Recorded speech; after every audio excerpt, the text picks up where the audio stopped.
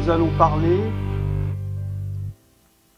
de la manipulation de la parole de Dieu. Donc nous continuons le thème de la semaine passée qui était est-ce que la parole est-ce que la Bible est la parole de Dieu? Vous pouvez voir euh, tous les messages et toutes les archives des messages évidemment sur euh, centre-partage.com page message vidéo et bien sûr sur tvjésuschrist.com et tvchrétienne.com. Quand je parle de la manipulation de la parole de Dieu, là je n'emploie pas ce mot d'une manière péjorative, comme par exemple dire euh, je manipule une personne, hein, mais dans le sens où l'on dit je vais manipuler un objet, l'utiliser. c'est une question d'interprétation de la parole de Dieu qui souvent utilise des versets hors contexte. C'est surtout ce thème-là que j'aimerais parler, le danger de développer des thèmes ou des doctrines, des arguments par rapport non seulement à un verset isolé de la parole de Dieu, mais en plus que ce verset soit hors contexte. C'est deux choses différentes. Pour analyser quelque chose, une situation, nous avons deux manières de le faire. On parle de raisonnement ou de pensée euh, inductive ou de pensée déductive. Alors, si vous regardez sur euh, Google, vous allez voir de, longues définitions euh, quasi philosophiques. Le plus simple que j'ai trouvé, que la pensée déductive, c'est qui va du général au particulier. Et la pensée inductive, qui va du particulier au général. Je donne un exemple dans la parole de Dieu, mais c'est valable pour tout raisonnement de la vie courante. Bon, prenons l'exemple, je ne connais pas bien la Bible, je lis ma Bible, et je vois tout d'un coup le verset qui dit Jésus passa toute la nuit sur la montagne pour prier. Et le matin, évidemment, il descend et il fait de grands miracles. Si j'ai une pensée inductive, je vais dire, puisque Jésus est monté sur une montagne et a prié toute la nuit, et que cela lui a donné beaucoup de pouvoir pour guérir les malades le lendemain, alors nous devons, je dois, monter sur une montagne et prier toute la nuit si je veux du pouvoir spirituel pour le lendemain. Et malheureusement, il y a beaucoup de personnes qui ont cette pensée inductive et qui vont même écrire un ou des livres très épais développant des doctrines basées sur juste un verset ou deux versets utilisés hors contexte et avec le raisonnement inductif. Si je veux appliquer le raisonnement, le raisonnement déductif, je vais tomber sur ce verset, mais je ne peux pas en tirer des conclusions. Je vais prendre ça comme une information. Et plus loin dans la Bible, je peux très bien tomber sur l'autre verset où il est dit que Jésus alla dans le désert pour prier et ensuite il retourna à la foule et, il a fait des miracles. Et là, je verrai bien qu'il y a différents cas de figure. Une fois, il est monté sur une montagne. Une autre fois, il était dans le désert. Une fois, il a pu se retirer de jour, une fois de nuit. Donc, je ne peux pas faire de conclusion par rapport à un élément particulier. C'est pour ça qu'il est important d'approfondir la parole de Dieu. On peut lire la parole de Dieu en ouvrant la Bible au hasard et lire un verset. C'est bien de temps en temps. Mais il est également important de lire en profondeur. Non seulement des livres entiers, comme par exemple l'évangile de Jean, je vais le commencer au début pour, jusqu'à la fin pour avoir une vue d'ensemble, mais également, et je pense qu'il n'y a pas assez de chrétiens qui le font, par thème. Prendre un thème, dire tiens, je vais étudier les caractéristiques du ministère du Saint-Esprit et chercher tous les versets qui en parlent. Et là, on, approfondit. Et on voit qu'on ne peut pas toujours donner des réponses à l'emporte-pièce, des réponses rapides à certaines questions, parce qu'il y a quand même une complexité par rapport à des sujets. On ne peut pas venir demander à quelqu'un, voilà, euh, dis-moi en une phrase qui est le Saint-Esprit. C'est tellement vaste, c'est tellement complexe, il a tellement de choses. Si je me base par exemple avec une pensée inductive sur le verset où Jésus a dit le, Saint-Esprit vous guidera dans toute la vérité, je ne peux pas dire voilà le rôle du Saint-Esprit est de vous guider dans toute la vérité et rien d'autre. Parce qu'il fait d'autres choses. Par exemple, il convainc aussi de, le monde de péché, de justice et de jugement. Donc on ne peut pas prendre un élément particulier pour en faire une généralité et faire abstraction d'autres choses dans la Bible. Et le problème, c'est que je vois malheureusement beaucoup de chrétiens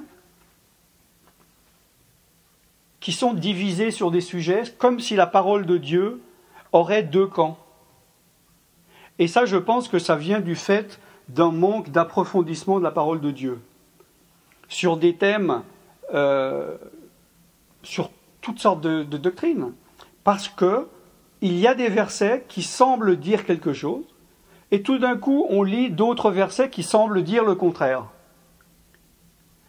Et on se met dans la position de se dire Ah non, non, moi je crois à ça, donc je me mets de ce côté. Et c'est comme si je fais abstraction de l'autre verset, je ne veux pas en entendre parler, parce que ça va comme euh, dénigrer ce que je crois.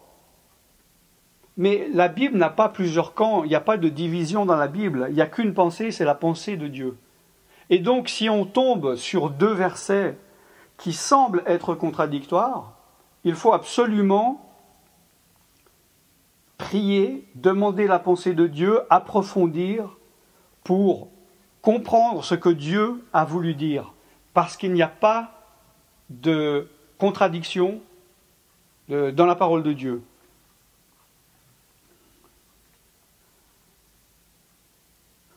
Un autre exemple, euh, en 2010, j'étais au Canada et j'ai fait une petite euh, conférence on m'a demandé de faire euh, sur le thème de la fin du monde et particulièrement euh, de la fin du monde 2012 parce que sur Internet, même dans le monde, ils, parlent beaucoup de cela et qu'ils ont fait même un, film à Hollywood sur ce sujet. Il y a beaucoup de chrétiens qui y croient.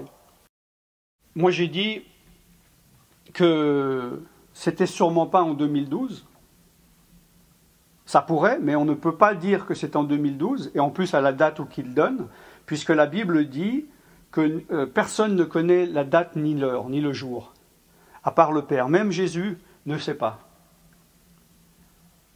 Et j'ai reçu un mail euh, quelque temps après, quand il y a eu, euh, je ne sais pas si vous en souvenez, cette nappe de pétrole qui a coulé au Mexique. Et c'est comme si ça devenait brun ou rouge, et ça, ça, s'était agrandi sur plusieurs kilomètres. Et un frère m'a écrit en disant, tu as tort, tu vois, la Bible dit que l'eau sera changée en sang, donc ça prouve que c'est la fin des temps. Bien sûr, depuis euh, cette affaire de pétrole a été réglée, on a bien vu que ce n'était pas ce qui est écrit dans la Bible. Pourquoi ce genre de choses? Parce que les personnes sortent des versets hors du contexte, ont une pensée inductive au lieu d'avoir une pensée déductive et d'avoir euh, d'approfondir la parole de Dieu. Parce que dans une prophétie, on va prendre par exemple dans euh, Matthieu 24, euh, vous pourrez lire chez vous tout le chapitre pratiquement, mais là je, vais juste parler du, du, verset 3 à 36, où les disciples sont venus et ont dit, mais quel sera le signe de ton avènement de la fin du monde? Et Jésus, là, il a commencé à parler de choses chronologiques.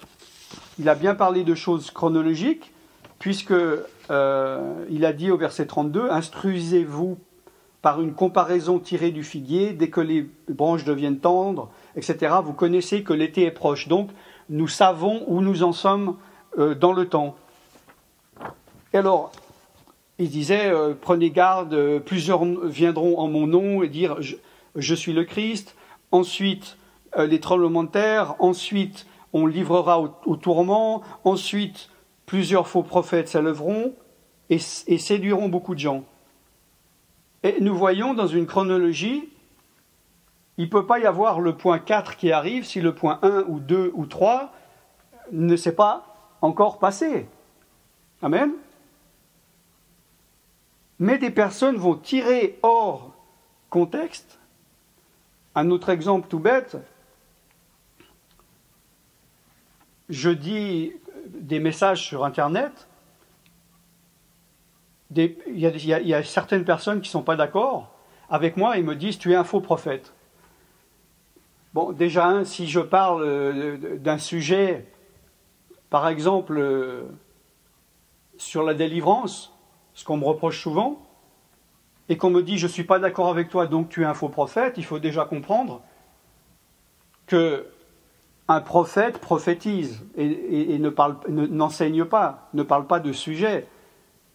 Et déjà, pour être un faux prophète, il faut être prophète, ce qui n'est pas mon cas, je n'ai jamais prophétisé.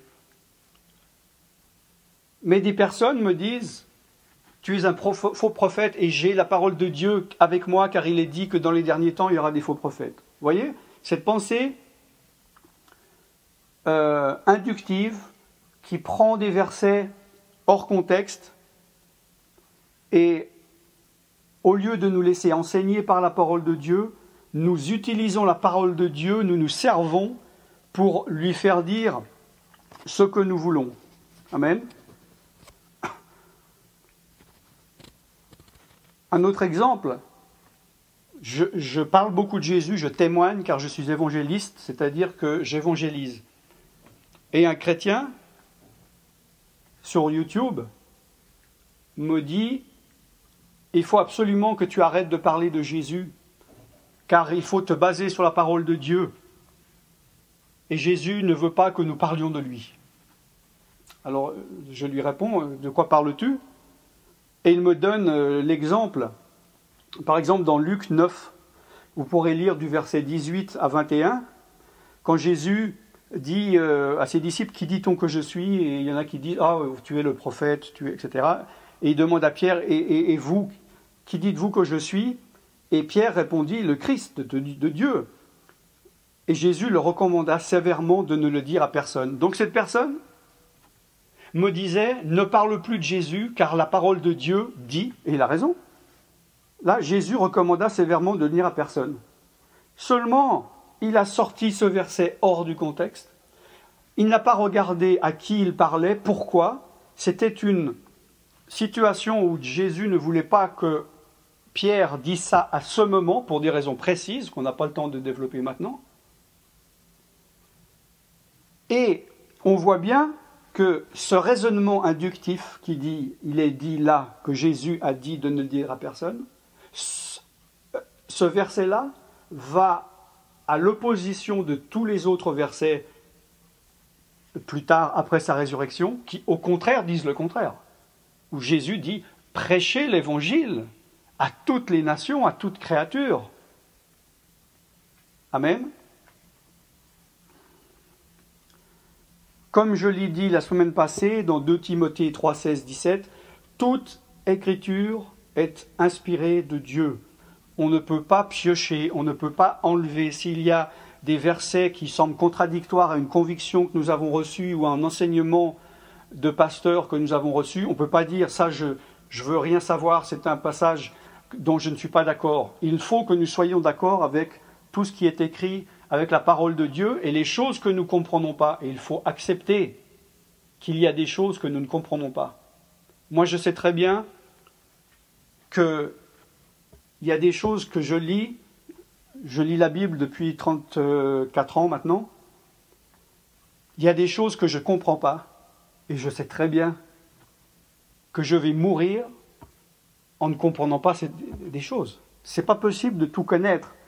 Et des fois, il faut savoir dire, nous verrons bien, Dieu nous révélera, on saura tout, nous serons, nous connaîtrons comme nous avons été connus. Alléluia.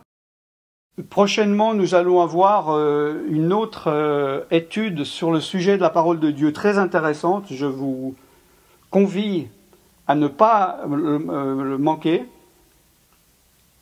C'est comment juger les sujets qui ne sont pas traités dans la Bible. Hein et la confusion entre ce qui est euh, non biblique et anti-biblique. Hein? Un sujet, comment réagir à une situation où la Bible n'en parle pas? Qu'est-ce qui est de Dieu, qu'est-ce qui n'est pas de Dieu?